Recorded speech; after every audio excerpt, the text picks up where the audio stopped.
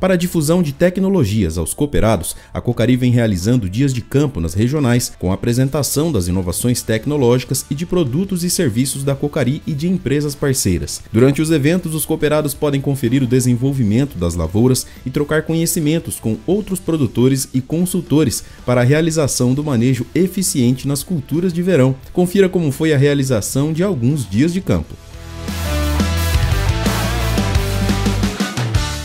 O evento foi muito proveitoso, a gente teve adesão de bastante produtores passando aqui hoje, em torno de 70 produtores estiveram aqui conosco. Muito em breve a gente está inaugurando o nosso espaço físico aqui em Prudentópolis para estar tá lado a lado com o produtor e estamos à disposição para atender todos os cooperados clientes que têm interesse a vir participar conosco da cooperativa, a gente está à disposição. É muito importante, principalmente pela questão de aqui no campo tem diferentes variedades de soja o qual é, facilita muito a tomada de decisão por parte do produtor, vendo é, ao vivo no campo como que cada variedade se comporta, como que cada produto também se comporta na soja.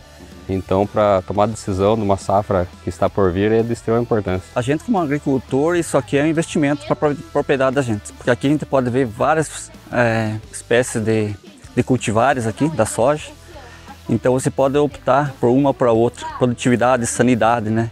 Então é um ganho para o produtor que vem num dia de campo como esse. Estamos aqui hoje no município de Godói Moreira, é, onde realizamos o nosso dia de campo da cultura soja. Um evento muito bom, onde tivemos a presença aí de mais de 70 cooperados. A cooperativa está à disposição, tem um portfólio de semente completo dentro, dentro do que tem de mais produtivo no mercado. E hoje estamos aqui apresentando as cultivares lado a lado, o que, que é a, a realidade do produtor, juntamente com nossos parceiros aí e, e amigos aqui nesse grande evento aqui nesse município.